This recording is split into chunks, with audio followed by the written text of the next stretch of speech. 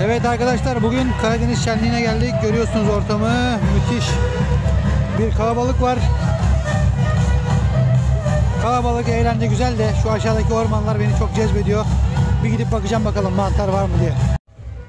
Evet arkadaşlar horon sesini duyuyorsunuz. Yukarıda horon tepiliyor. Biz de burada geldik dedik bir mantar bakalım. Hemen indim alt taraflara. Bismillah. İlk karşılaştığım mantar Russula Poatens oldu.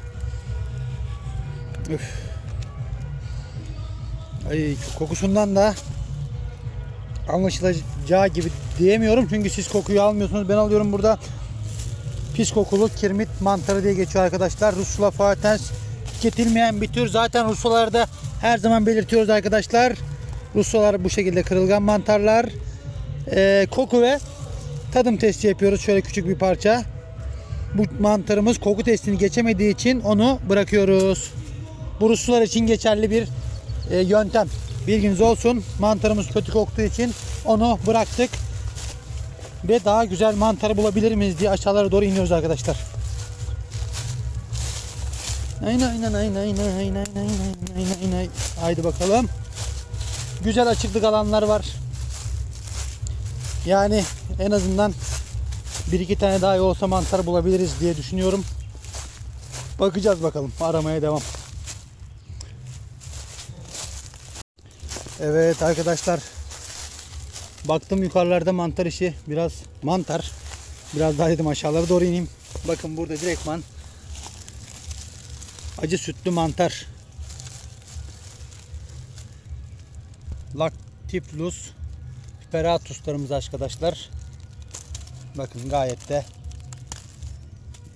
yerinde keyifler. Onlar da hafiften kurumaya başlamış ama olsun yine de gideri var. Siz de bu şekilde yapabilirsiniz arkadaşlar. Baktınız ee, zaten şu an mantar kuraklık artık havalarda ısındığı için biraz da kurak olduğu için dere boylarında daha çok dere kenarlarına doğru mantarı bol miktarda bulabilirsiniz. Zaten bakın hemen alt tarafımız dere. Hoppa. Bakın buralarda belki bir sepet mantarımızdan mevcut. Lactiflus peratus acı sütlü mantar, biberli sütlü mantar, e, dilburan dedikleri mantarımız bu arkadaşlar. Evet. Yani bundan bol miktarda var. Aslında yukarıdakilerin çoğu Karadenizli arkadaşlar. Biz de Karadeniz damadıyız. Onlar mantarı bilirler ve severler. Evet şuralarda da var. O da ne? Orada bir sarılık gördüm. Bir dakika. Bir dakika arkadaşlar. Hah. Evet. Bu da sürpriz. Güzel bir sürpriz. Gel bakalım buraya. Sarı kız. Evet. Bakın.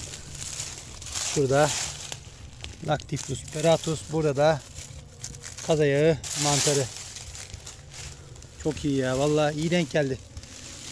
Bir iki tane de olsa mantar bulduk arkadaşlar.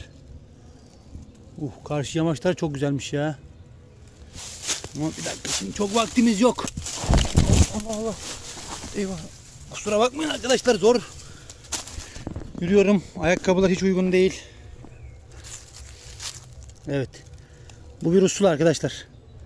Bakın ne kadar çok benziyor ama bakın şöyle hemen kırılgan yapısından dolayı rahatlıkla ayırt edebilirsiniz. Vallahi zor duruyorum. Burada bir yuvarlansak aşağıdayız. Aslında burada ne umuyorum biliyor musunuz? Geyik mantarı bulabilir miyim diye şu an biraz şeyde kaldım. Neden olmasın da diyorum bir taraftan. Sanırım geyik mantarına odaklansam daha iyi olacak. Çünkü en zahmetsiz o. Atıştırmalık hemen bulduğumuz gibi çiğ bir şekilde tüketebiliriz. Biliyorsunuz nadir yenen çiğ mantarlardan bakın. Her tarafta daha yeni çıkan acı sütlü mantarlarımız mevcut. Bakın dolu. Ama tabii şu an bizim ilgimizi bunlar pek çekmiyorlar. Gidelim bakalım.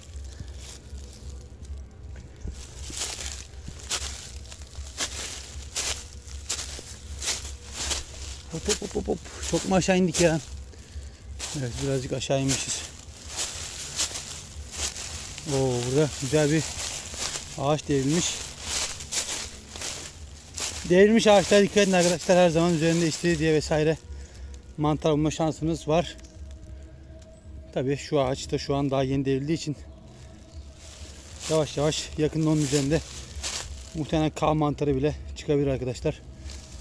Çünkü o ağacı tekrar doğaya kazandıracak olanlar mantarlar. Mantarlar bu yüzden önemli. Mantarlar olmadığı zaman bütün bu dallar arkadaşlar düşer düşer düşer burada yığılır kalır. Mantarlar onların tekrar doğaya kazandırma işlemini gerçekleştiriyorlar. Mesela burada gördüğünüz gibi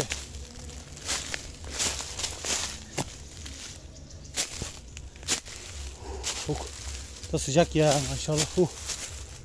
Evet. Şu an görünürde başka bir mantar görmüyorum. Devam edelim. Evet arkadaşlar.